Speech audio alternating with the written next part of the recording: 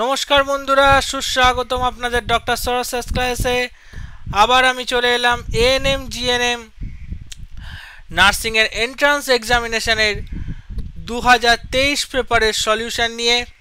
তো আপনাদের যদি আমাদের তরফ থেকে ফ্রি ক্লাসেসের প্রয়োজন পড়ে বা পেড ক্লাসের প্রয়োজন পড়ে ডাউট ক্লিয়ারিং সেশানের দরকার হয় প্রিভিয়াস ইয়ার কোয়েশ্চেনের প্রয়োজন পড়ে মক টেস্টের প্রয়োজন হয়, তাহলে আপনারা সরাসরি কল বা হোয়াটসঅ্যাপ করুন এই নাম্বারটিতে। স্যার, নিজে আপনাদের প্রত্যেকের কোয়ারির ইন্ডিভিজুয়ালি রিপ্লাই দেবেন। তো শুরু করা যাক আজকের ফোর্থ কোয়েশ্চেন কি বলা হচ্ছে কোয়েশ্চেনে বলছে which of the following molecules is glucose তাহলে এটা একটু মনে রাখতে হবে তোমাদের, তাও কিছুটা বলে দিই। তো প্রথম যে অপশানটা আছে অপশান এ যেখানে কার্বন অণু আছে ছ তিনটে, হাইড্রোজেন অণু আছে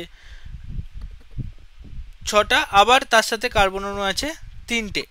তাহলে এই যে স্ট্রাকচারটা, এই স্ট্রাক মলিকুলার ফর্মুলাটাকে বলা হয় গ্লিসারাল, লিখে রাখো তোমরা, গ্লিসারাল ডিহাইড গ্লিসারাল ডিহাইড।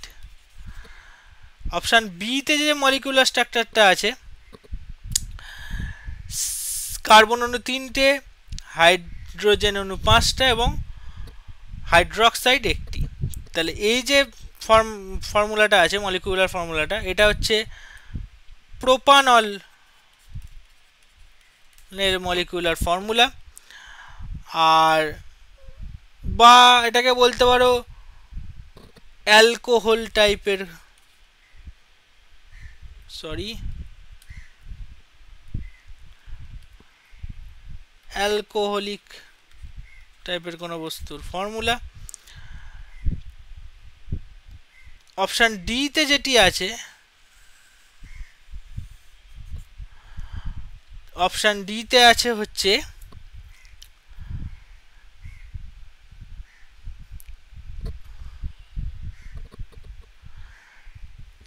কার্বন অণু ছটা, হাইড্রোজেন দশটা, অক্সিজেন অণু পাঁচটা। এটা একটা মলিকুলার ফর্মুলা ফ্রম একটা অন্য ধরনের মনোস্যাকারাইডের যাকে বলা হয় ফ্রুক্টোজ ডিফারেন্ট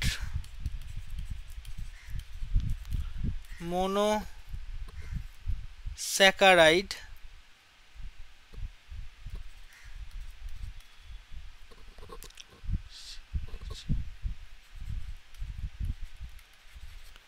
যাকে বলা হয় ফ্রুক্টোজ, যেটা গ্লুকোজের আইসোমার, কিন্তু গ্লুকোজ নয়। এটা গ্লুকোজের আইসোমার আইসোমার অফ গ্লুকোজ। কিন্তু এটা নিজে কখনোই গ্লুকোজ হবে না। That could not be glucose itself so নিজে কখনোই গ্লুকোজ হবে না। তাহলে অপশান সি বেঁচে রয়েছে। তো অপশান সি এ কী কী আছে? দেখে নেওয়া যাক। অপশান সিতে আছে। সরি অপশান সিতে আছে কার্বন অণু ছটা, হাইড্রোজেন বারোটা, অক্সিজেন অণু ছটা। তো এটাই সিম্পল গ্লুকোজ সিম্পল সুগার বা মনোস্যাকারাইডের ফর্মুলা এই মলিকুলার ফর্মুলাটাই হচ্ছে গ্লুকোজের এখানে। বোঝা গেল? যেটা হেক্সোজও একে বলা হয়। কেন হেক্সোস বলা হয়?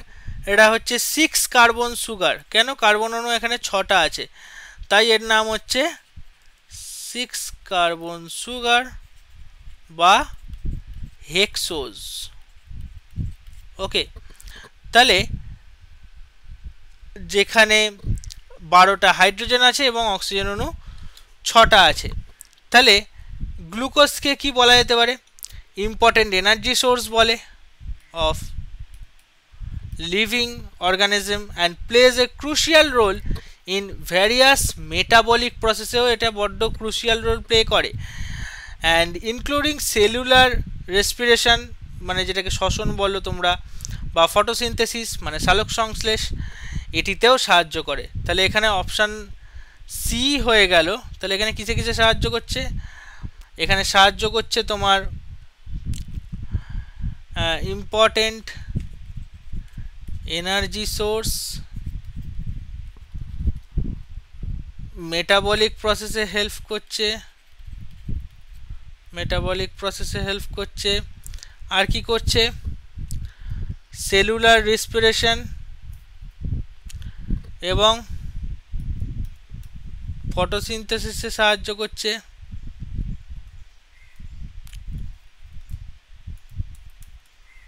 ওকে তাহলে এখানে কোন অপশানটা কারেক্ট হবে? এখানে কারেক্ট হবে option C is the C six H twelve O six এখানে অপশান সি হবে এখানে কারেক্ট উত্তর। এরকম আরও অনেক ট্রিক্স আরও সমাধান জানতে হলে ফলো করুন। সরসেস ক্লাসেসকে এবং জুড়ে থাকুন আমাদের সাথে। এবং এই ভিডিওটিকে লাইক, শেয়ারের মাধ্যমে আপনাদের বন্ধুদের মাধ্যমে ছড়িয়ে দিতে পারেন। এবং আপনাদের যদি ক্লাস বা মক টেস্ট স্টাডি ম্যাটের যদি প্রয়োজন হয়, তাহলে আমাদের এখন এনএম জিএনএম কোর্সের ডিসকাউন্ট চলছে।